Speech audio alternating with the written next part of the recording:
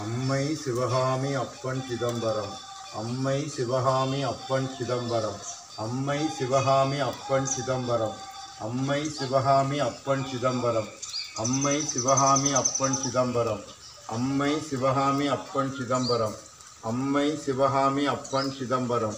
அம்மை சிவகாமி அப்பன் சிதம்பரம். அம்மை சிவகாமி அப்பன் சிதம்பரம். அகில உலக பரபிரம்ம ஜோதியே எனது மகர ஜோதி எனது மகர ஜோதி. சரஸ்வதி குருநாதா. புதுவசனம் சேனல் மூலமாக என்னோடய பதிவை பார்க்குற எல்லா குடும்பத்துக்கும் சதுரகிரி ஒற்றக்கொம்பன். அதாவது சதுரகிரி ஒற்றக்கொம்பன்னு சொன்னால் மலையின் கீழ் வேணுகோபால கிருஷ்ணன் அந்த மலையின் வேணுகோபால கிருஷ்ணனை தான் சதுரகிரி ஒற்றக்கொம்பன் அப்படின்னு இதே பதிவு மூலமாக பேசி வந்தேன். அப்போது அந்த மலையின் கீழ் கோபாலகிருஷ்ணன் உங்கள் குடும்பத்துக்கெல்லாம் துணை இருக்கட்டும் அப்படின்னு மனதார வேண்டிக்கிறது. அதாவது இதே பதிவு மூலமாக நான் சமீப காலமாக நான் பதிவு பண்ணிக்கிட்டே வர்றேன். அதாவது புரியுதவங்களுக்கு புரியும் புரியாதவங்களுக்கு இது ஒரு புதியதாக இருக்கும். ஏன்னா இந்த பதிவோட பேர் என்னன்னா புது வசந்தம். அதாவது விமானம் அப்படின்னு சொன்னால் மகா கணபதி. அதாவது கோபுரம் அப்படின்னு சொன்னால் ராஜ கணபதி. அதாவது சந்திரன் அரி. அதாவது வள்ளி விநாயகி. திருமூர்த்தி. திருமூர்த்தி தான் திரு ராம சிவா. அப்போ சிவராம கிருஷ்ணன் அதாவது தெய்வ யானை அதாவது வள்ளி விநாயகி தெய்வ யானை அதாவது விமானம் என்பது மகா கணபதி கோபுரம் என்பது ராஜ கணபதி அதாவது சித்தி விநாயகி பால விநாயகன். அதாவது பெரிய விநாயகி கைலாயநாதா பிரகதீஸ்வரர் அண்ணா ராமநாதா அடி ராம பாதம் ராம சந்திரன். அப்போ உலகத்துக்கே ஜோதி பிளம்பாய் காட்சி கொடுக்கிறார் அண்ணாமலையார் அப்படின்னு சொன்னால் உலகத்துக்கு இன்னைய நாள் வர ஜோதி பிளம்பாய் காட்சி கொடுக்கிறாரு அண்ணாமல ராமநாதன். அதாவது இந்த உலகத்துக்கே மலைக்கும் அவர் தான் சொந்தம். உலகத்தோட வெளிச்சத்துக்கும் அண்ணன் ராமநாதன் தான் சொந்தம். அப்போ இந்த ராமநாதனை வந்து நீங்கள் மறந்துட்டீங்க அதாவது ராமேஸ்வரம் அப்படின்னு ஒன்று இருக்குன்னா இந்த உலகத்துக்கே ஈஸ்வரன். அப்போ இந்த ராமேஸ்வரத்துக்கும் இந்த சபரிமலை ஐயப்பனுக்கும் என்ன சம்பந்தம்?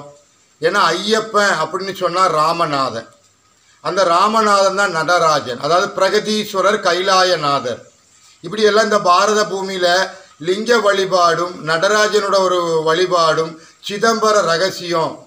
இந்த அண்டத்தில் ஒரு மிகப்பெரிய ஒரு ரகசியம் சிதம்பர ரகசியம். அப்படின்னு சொன்னால் திருவம்பல சக்கரம் திருமூலவர் புலிப்பாணி காசிமா முனிவர் இவர்களுக்கு தான் திருவம்பல சக்கரம் என்னன்னு தெரியும். ஆனால் அந்த திருவம்பல சக்கரத்துக்கு சொந்தக்கார யாருன்னா ஞான தண்டாயுத பாணி அதாவது ஞானம் என்பது அண்ணனோட தும்பிக்கை.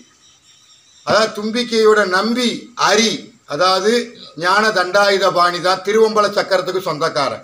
அப்போ இந்த அண்டத்தில் வந்து ஒரு பெரிய ஒரு சக்கரம். அந்த சக்கரத்துக்கு சொந்தக்கார அரி. அந்த அரி யாருன்னா?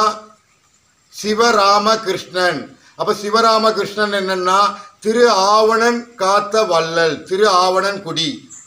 அதாவது மலையின் கீழ் கோபாலகிருஷ்ணன் அவதாரம் திரு ஆவணங்குடி அப்போ மேலே உள்ள அவதாரத்துக்கு பேர் சீர்ணிவாசன் அதாவது பெரிய ஆவுடை நாயகி பிரகதீஸ்வரர் கைலாயநாதர்.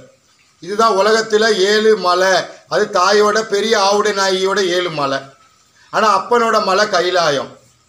அண்ணனோட மலை பழனி மலை. அதாவது பழனின்னா அரி சந்திரனோட மலை. அப்போ எல்லாமே இந்த இளவரசி மலைக்குள்ளே அடங்கியிருக்கு. அதாவது உலகத்தோட ஏழு மலை என்பது பழனி மலை. அப்போ ஏழு மலை ஏழு மலைன்னா ஏழு மலைன்னா பழனி மலை. அதாவது சபரி அதுதான் சிவகிரி. இப்படி எல்லாம் பொருள் இருக்கு. அப்போ நம்ம பாரத பூமிக்குள்ள நம்ம நாட்டுக்குள்ள தமிழ் கடவுள் ஆண்டி பழனி ஆண்டவன் ஆண்டி. அப்போ ஒரு ஆண்டியானவன் அரசராக இருந்தால் நாட்டுக்குள்ள என்ன நடந்துக்கிட்டு இருக்கு?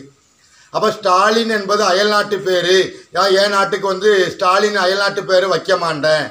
அப்போ தமிழ் கடவுளோட பேர் வைக்கிறேன். என்ன நடக்குன்னு பார்த்துக்கிடுங்கன்னு இதே பதிவு மூலமாக போன வருடம் நான் ஒன்று மாற்றி பேசியிருந்தேன். அப்போ காளியோட ஆட்டத்தை பாரு. அப்படின்னா கங்காவோட ஆட்டத்தை பாரு. அதாவது அரிவோட ஆட்டத்தை பாரு. மதியோட ஆட்டத்தை பாரு அப்படின்னு சொல்லியிருந்தேன். அதாவது சந்திரன் அரி சந்திரன் அரின்னு இதே பதிவு மூலமாக ஒரு இரண்டு ஆண்டு காலமாக நான் பேசியிருந்தேன். அத்திவரதரோட ரகசியம் என்னென்னா ராஜேந்திர சோழன். அப்போ தஞ்சை பெரிய கோயிலோட ரகசியம் என்னென்னா கஜேந்திரன் அதாவது சோழன் சந்திரன் அப்படி இதே பதிவு மூலமாக பேசியிருந்தேன். அப்போ கிபி என்ன கிமு என்ன? அப்போ நீங்கள் கிபியில் இருக்கிறிய நான் கிமுவில் இருக்கிறேன். அப்போ நான் ஆதி காலத்தில் இருக்கிறேன். அப்போ ஆதி காலத்தில் என்னென்ன நிகழ்ந்ததோ அதுதான் இப்போ நடைமுறைக்கு வந்துக்கிட்டு இருக்கு. அப்படின்னு உங்களுக்கு புரிய வைக்க வந்த ஒரு புதிய பறவை. அதாவது இந்த பறவை என்னென்னா அன்னப்பறவை. அன்னப்பறவை என்னன்னா என்ன? அன்னை என்பது தாய் சந்திரன். அந்த சந்திரன்லேருந்து உதயமான பறவை அதாவது மனிதன் அப்படிங்கிற ஒரு பேர் இந்த பறவைக்கு. அப்போ இந்த பறவை சமீப காலமாக உங்ககிட்ட பேசிட்டு வந்தது. இந்த பறவை என்பது இது தென்னாட்டில் உள்ள பக்தி என் பக்தி பக்தி என்ற பறவை. அதாவது மயில் சேவல். அப்படின்னு சூரசம்ஹார கதையிலிருந்து எல்லாமே சொல்லி தந்திருக்கு. ஆனால் இந்த பதிவு மூலமாக திருச்செந்தூர் ராஜகோபுர வாசலை திறங்கன்னு சொல்லியிருந்தேன். ஆனால் திருச்செந்தூர் ராஜகோபுர வாசலை திறந்தா சூரசம்ஹாரம் பண்ணுறதுக்கு அர்த்தம். அப்போ மூடி இருக்கு திறங்க திறங்கன்னா சூரசம்ஹாரம் நடக்க போகுதுன்னு தானே அர்த்தம். அப்போ திறங்க சூரசம்ஹாரம் நடக்க போகுதுன்னு அர்த்தம். ஏன்னா சூரசம்ஹாரத்தை அன்னைக்கு தான் திறக்கிறாங்க. அப்போ இதே பதிவு மூலமாக ராஜகோபுர வாசலை திறங்க ராஜகோபுர வாசலை திறங்கன்னு நான் சொல்லியிருந்தோம்னா என்ன? அப்போ காவி வஸ்திரம் போட்டு தான் இதே புது வஸ்திரம் பதிவு மூலமாக முதல் பதிவு பண்ணினது. காவியும் காவியும். அப்போ காவிக்கு அப்புறம் பச்சை அப்போ சந்திரன் அரி அப்போ நிலா அப்போ இருட்டு அப்போ கருப்பு வேட்டி போட்டு நான் பேசியிருந்தேன். அப்போ அமாவாசை சந்திரன் அதாவது ராம கிருஷ்ணன் இப்படி எல்லாமே நான் இது பதிவு மூலம் பேசியிருந்தோம்னா கோதாண்ட ராமருங்கிற ஒரு சிலை திருவண்ணாமலைக்குள்ள இடது பக்கமாக வந்து போயிட்டியா அப்படின்னு சொல்லியிருந்தேன் அம்மையும் அப்பன் துணை.